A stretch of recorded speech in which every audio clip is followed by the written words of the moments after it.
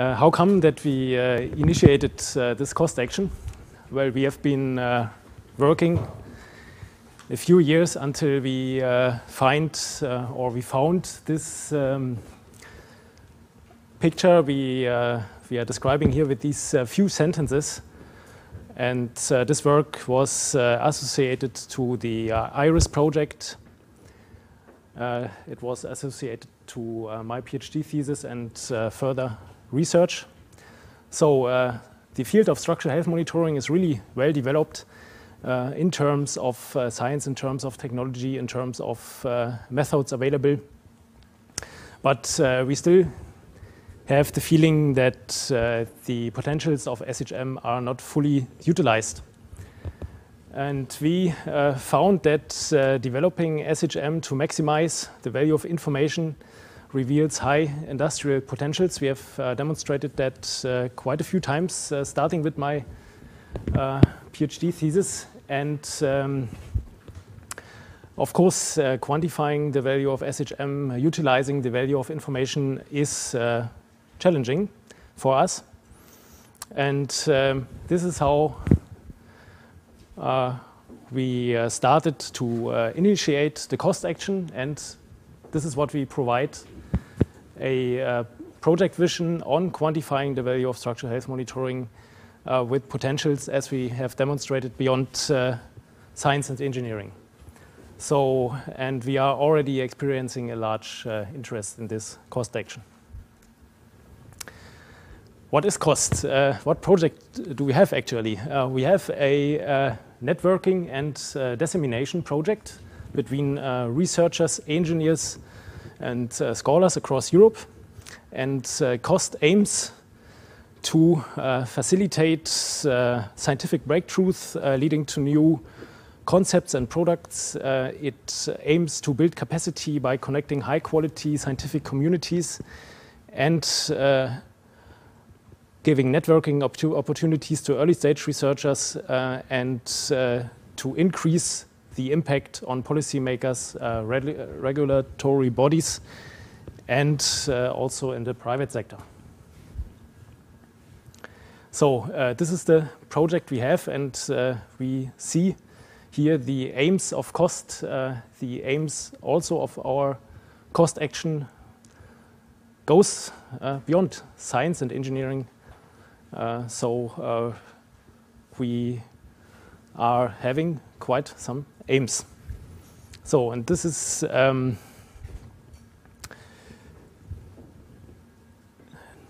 now an overview over the uh, cost action uh, TU1402. I will go uh, through the action, uh, will say something on the aims and objectives like you see here. Then I will um, go further in the scientific planning come to our working plan uh, throughout uh, 2015, so this year. Uh, and then I will say also some words to the agenda of today.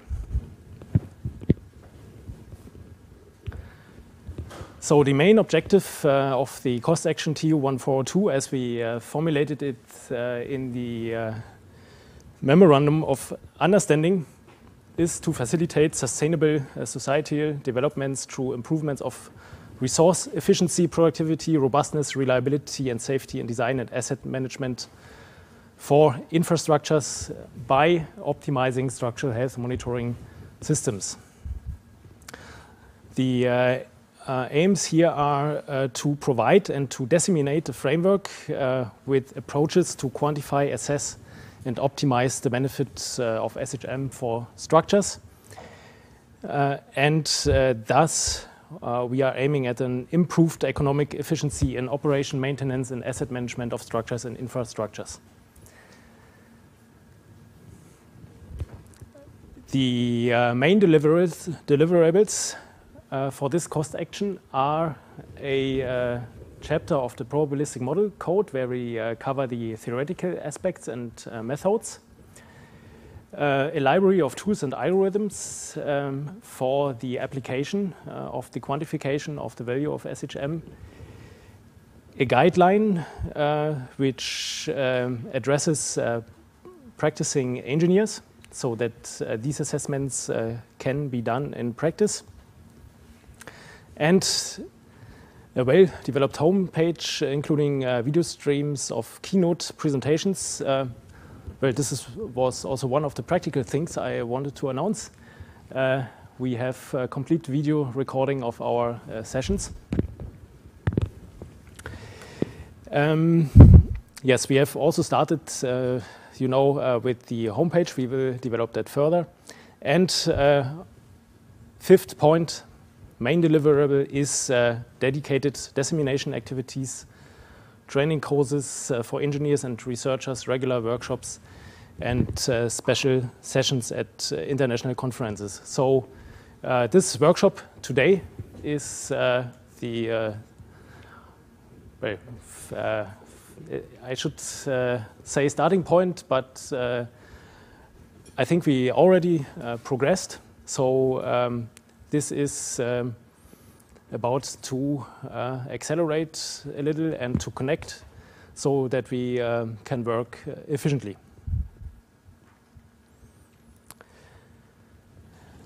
Uh, what is the, the impact we are aiming at?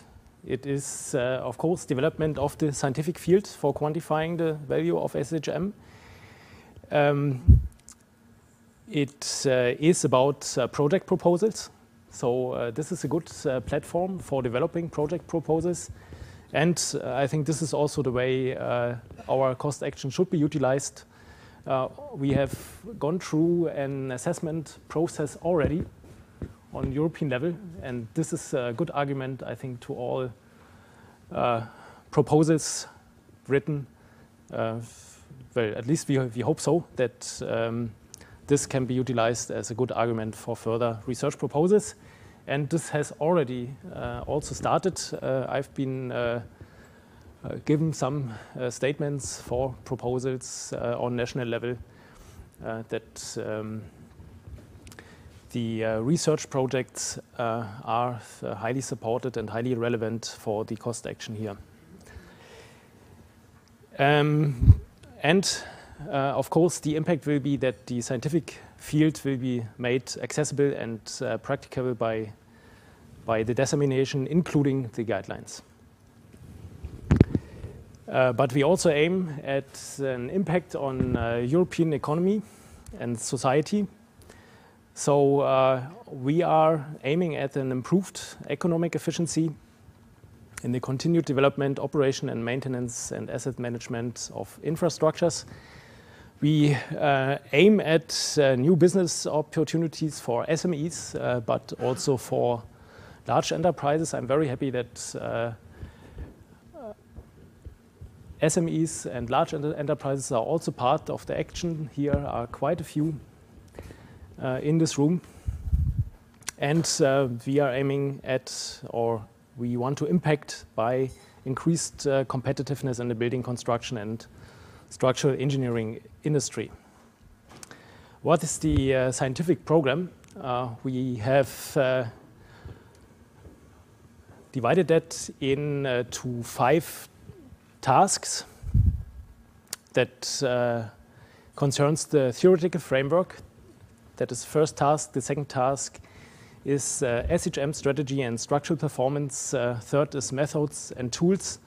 Fourth is case studies portfolio, and five is development of guidelines. Um, I would like to highlight the uh, task two, because uh, here uh, we have been putting SHM strategies and structural performance together. And uh, I think this is one uh, key element of the cost action to bring the researchers together in this uh, working group uh, because we uh, observed that normally um, uh, researchers, also engineers, are working either with SHM strategies or with structural performance. And I think this is really a key element for the further development of structural health monitoring. Well, uh, this is our scientific uh, program, a little more uh, detailed. Uh, again, you find here the tasks um, and what is uh, important here. Oh, that works. Um, is um, the time plan. So uh, in the first one and a half years or two years, it's the first two years, working uh, task one and uh, task two are uh, active. And uh, in the second year, uh, or yes, in the second year, task three joins, and also task four and at the end of the action, uh, we are going to task five to uh, the development of guidelines.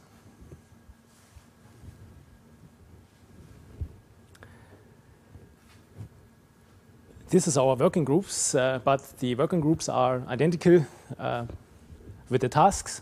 So we have a working group on uh, the theoretical framework, on SHM strategies and structural performance methods and tools. And then uh, we uh, have the uh, working group four and five, uh, which are going across, uh, which are building upon uh, what we have developed in the theoretical framework in working group. Uh, this was working group one, working group two, and working group three. And across all uh, these uh, activities, we have the dissemination, a special working group to uh, coordinate the uh, dissemination. The organization is uh, very close to the um, normal organization uh, which is provided by cost. So we have the management uh, committee uh, which is responsible for the management of the action. We have then a smaller group, a steering committee, which uh, works in, uh, in more detail, uh, works in preparation for management committee meetings and um, decisions. what is uh, little going beyond uh, what is required by cost and how it's usually organized is that we have an uh, innovation committee um, and an advisory board.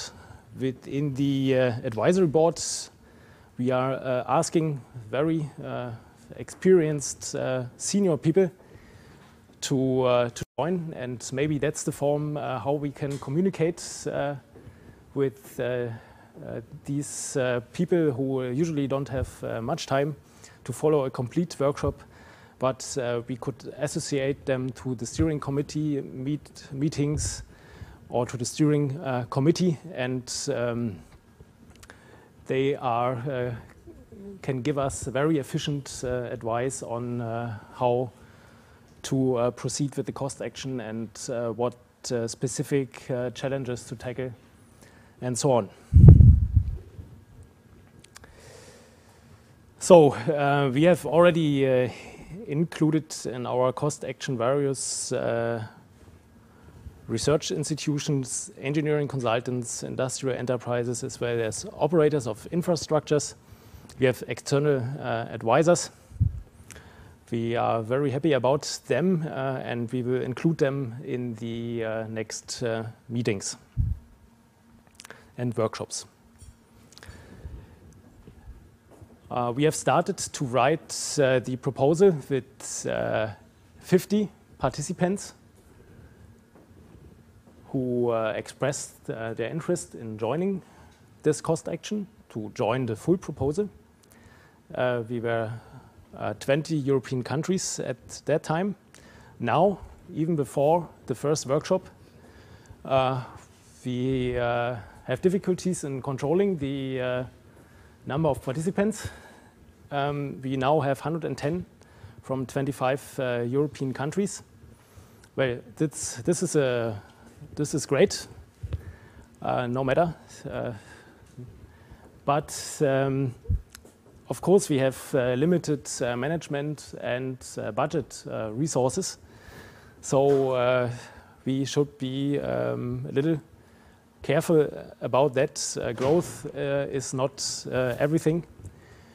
And we are aiming at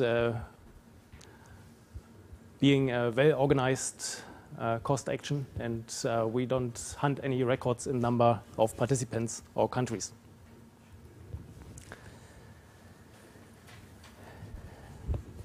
So, um, a few words on uh, the quantification of structural uh, health monitoring. So, you've uh, for sure recognized uh, this scheme here. So, uh, I think that uh, the, for the quantification of structural health monitoring decision, theoretical background is necessary. We need the SHM strategies and the structural performance. I think uh, this uh, may be something um, at a very generic level uh, where we can refer to when in the individual contributions in the presentations in the papers. And we may think of um, the value of structural health monitoring as the life cycle benefits uh, with structural health monitoring B1 minus uh, B0 without uh, structural health monitoring. So that goes also to the original um, yeah, theory, which was uh, goes back to Raiffa and Schlaifer in 1961. So the value uh, of information uh, is the utility increase. We can uh, further detail um, this uh, framework, uh, what uh, we have uh, developed. Uh, we can show this with the decision tree. So, well, this is maybe maybe still a little generic level, which we may refer to when talking. And um, well, this uh, is um, maybe still still generic, uh, but there may be other notations. Uh, there have been uh, publications in parallel. So, uh, but uh, maybe this should be something on on the theoretical level we should keep. Well, and this is also an uh, example from uh, one of the first studies uh, we did on the uh, quantification of the value of structural health monitoring for a fatigue uh, deteriorating structure and uh, strain gauge monitoring. And this was also something we, which contributed to the situation that we were convinced to initiate this cost action because we were convinced uh, to impact uh, industry uh, with these uh, numbers here. So uh, that's a relative, relative value of structural health monitoring. So it's normalized to B0, and we see that high. Um, so the highest value would be one here. Um, high values of structural health monitoring can be achieved independency uh, of the design and operation reliability. So, uh, what is our plan for the first grant period? This is uh, 2015. Uh, this is now. Of course, we we have this workshop here. This is one of the um,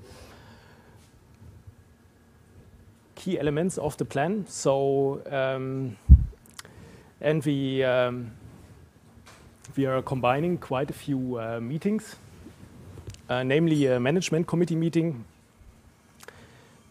This will be uh, yes, I, I, will come to the uh, agenda. Um, steering committee meeting. Uh, so uh, this is the small group below the management committee. We have the working group meetings. We have working group sessions. we do a workshop and we uh, disseminate here the uh, idea of this cost action. We have another workshop.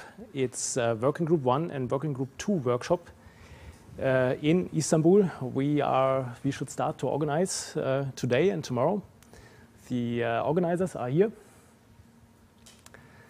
and um, here uh, we are combining also quite a, quite a few uh, meetings.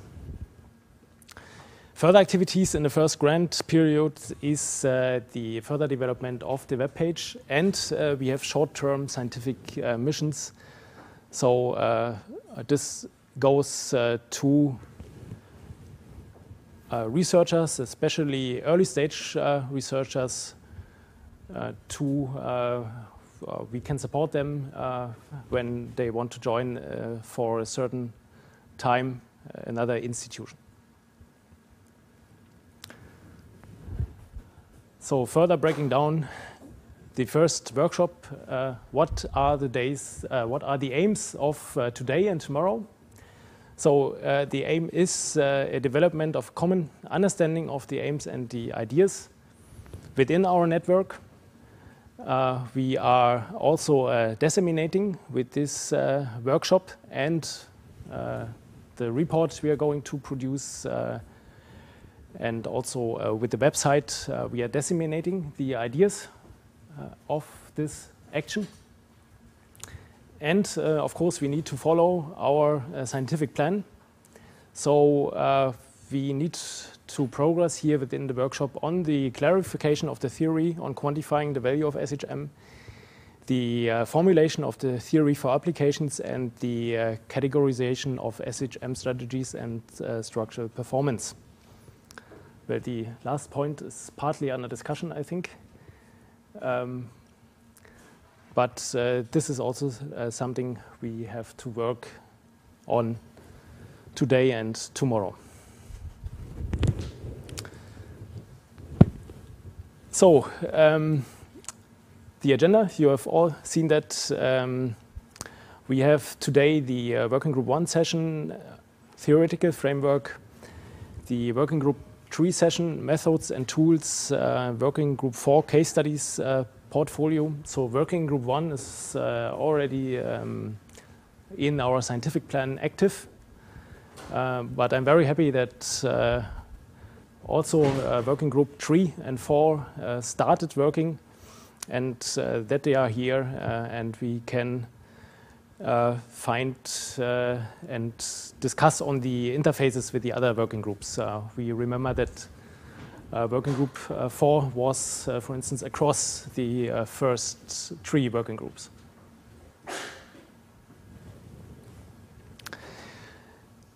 Um, we have, after the working group 4 session, a presentation from Helder, Let's Innovate. So I'm looking forward to that. Uh, we then have the steering committee meeting and the workshop dinner. This, uh, there will be some more information throughout the day on the workshop dinner.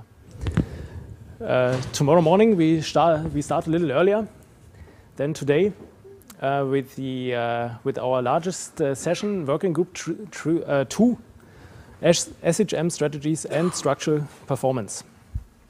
And we then have a combined working group five and six session, uh, have a concluding uh, discussion uh, after the lunch break, and then have parallel working group meetings. So here's the intention that each of the working groups are making plans how to further proceed, how to further work. And we uh, close our workshop with the uh, management committee meeting.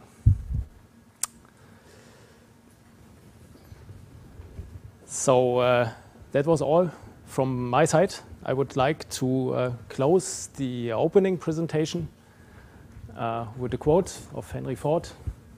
Coming together is a beginning, keeping together is progress, working together is success. Thank you.